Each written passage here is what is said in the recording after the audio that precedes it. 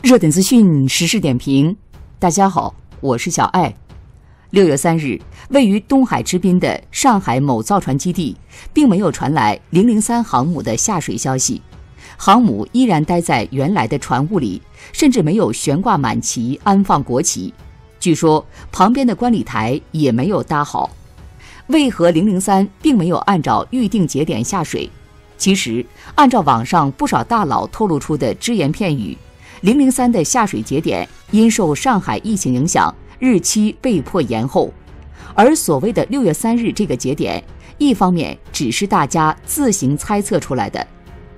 上海海事局发布通告称，江南造船有限责任公司港池深挖工程作业因作业需要。延期至今年六月三十日，这显示零零三航母可能延期至六月三十日下水。七月一日是建党纪念日，零零三届时或将作为七一献礼正式亮相。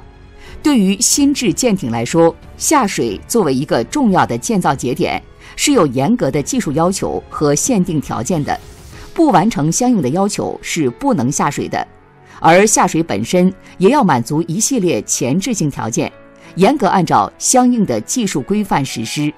而零零三经历了这么多之后，咱也不好说有多少准备工作没有完成，有多少检查还没有做完，或者说检查之后还有多少问题需要微调。只能说从目前的情况看，零零三好事未到。六月三日。美空军一架 RC 幺三五 U 电子侦察机逼近上海，沿着中国大陆东部海岸进行抵近侦察。最近时距离中国领海基线不到二十九海里，其电子接收设备拥有极大的宽频接收能力，其目的就是来上海搜集零零三航母的电子信号的，为以后的任务提供支持。这说明零零三航母已经装备了部分雷达系统和航电设备，这才引起美国高层授权侦察机前来侦察，没想到扑了个空，无功而返。此前大肆宣传的下水日期，很可能就是用来迷惑美军的，这也表明美国的挑衅态度。我们正在过节，美国就搞起了环太平洋军事演习。此次演习将有来自二十六个国家的四艘潜艇、三十八艘水面舰船、一百七十架飞机、二点五万人参加。美国之前提出的所谓印太战略，本就是为了围堵中国而诞生的。环太军演再次提出相似概念，不过是将印太战略延伸到军事领域，针对中国的意味十分明显。日本宣布。二战以来的最大规模航母编队也要出发。六月四日，日本准备派遣现役人员驻扎台湾省，以加强情报收集能力。但为了避免彻底激怒我们，他们暂时派了一名文官。针对日本的行为，必须保持警惕了。为此，中国侦察舰已到位。你们能看我们的，那我们也能看你们的，而且是一次性把二十六国军舰全看完。美国近期在台湾玩的有点过火，中国大陆肯定做了一些动作，所以美国意识到了问题的严重，防御性的搜集电子信号，加入不支持台独字眼就是安抚。零零三下水，这固然是我军历史上一个重要节点，不错，但海军其他方向的发展也一样是值得关注的。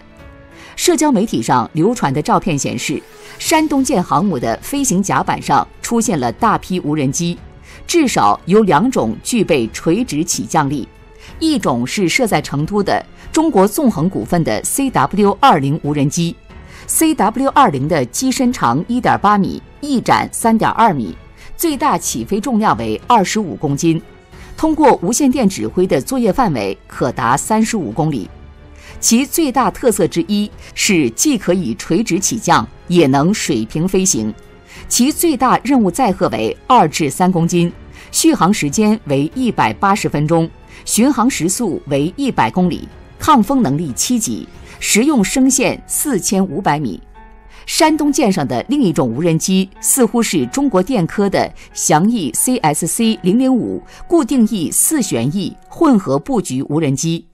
它带有光电、红外传感器和激光测距仪，最大起飞重量约为二十一公斤，最大活动半径约五十公里。单看这些无人机的性能指标，它们并非高端无人机。报道称，具备垂直起飞功能的无人机可用于在航母编队不同舰艇之间运送有限数量的货物，包括关键备件或医疗用品等。美国海军去年已经尝试使用这类无人机执行相关任务。另外，这些小型无人机也可能作为中国航母测试针对小型无人机防御能力的假想敌，后者正成为各国海军面临的日益增长的威胁。它们可能为山东舰等中国航母提供明显的潜在优势，包括在航母周围提供针对各种威胁的监视，或者为航母打击群提供额外的态势感知能力。此外，通过协同作业，特别是作为完全联网的蜂群无人机的一部分，它们可以相对快速地清理航母周围的大片区域。美国在多年前就已经提出，但进展相对迟缓，以至于率先在中国航母上出现了。由此想到，如今中国军迷常说的那句话：“美国负责幻想，中国负责实现。”上月末在黄埔造船厂开工的我军首艘大型无人作战艇也非常有意思。从外形上看，这个三体设计就颇有一种缩小版本的美国独立级滨海战斗舰与 DDG 一千驱逐舰混血的样子，采用了后倾式的穿浪舰首、高度隐身的设计，一个相对于舰体规模而言相当宽大的舰桥。以及利用三体结构撑起来的巨大的尾部直升机甲板，从外形上看，就是我军之前在防务展上展出的一款三百吨级无人多用途水面作战舰艇的自用版本。舰桥上至少安装了四面相控阵，另外在舰尾设置了甲板，显然是给无人直升机准备的。那机库自然也就要给配上了。该船应该是有拖曳式声纳，具备对潜探测能力的，这也应该是预留了航空作业能力的原因，用来对潜探测和对潜作战。武器只有停手安装的一座武器站，上面安装了一门机炮以及数发轻型导弹发射架，侧面可能还有数个内藏式鱼雷发射管。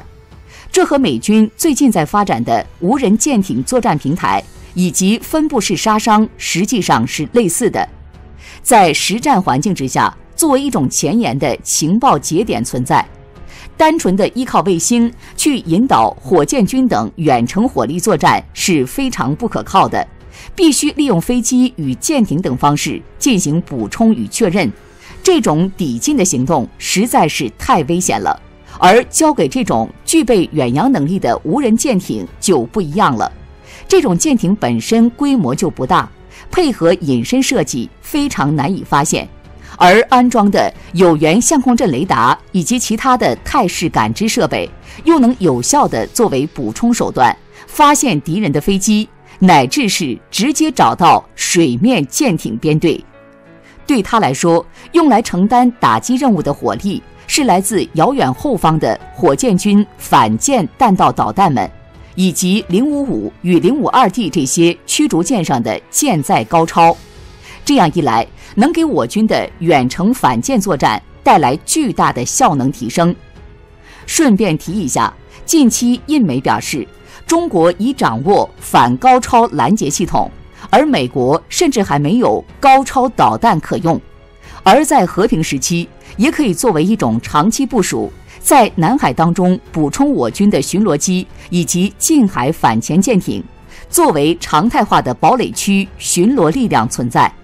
在战时，他们当然也能承担同样的任务，让海狼与弗吉尼亚进不来。而且，这种规模的无人舰艇，那对我国的造船工业就像造玩具一样。要是南海多了三百个态势感知节点，那情况就大不相同了。当然，这种船也不一定就要以我国的海岸线为基础，部署在周边的重点海域，想要出远海也一样是可行的。船坞登陆舰或者两栖攻击舰的坞舱当中，也一样可以带上那么几艘，执行类似的重点海区监视和引导打击的任务，或者进行重要出入口的反潜巡逻等等。当然，这艘刚开工的三百吨无人艇，也只是我军首个进入实质建造阶段的无人艇而已，算是迈出的探索的第一步。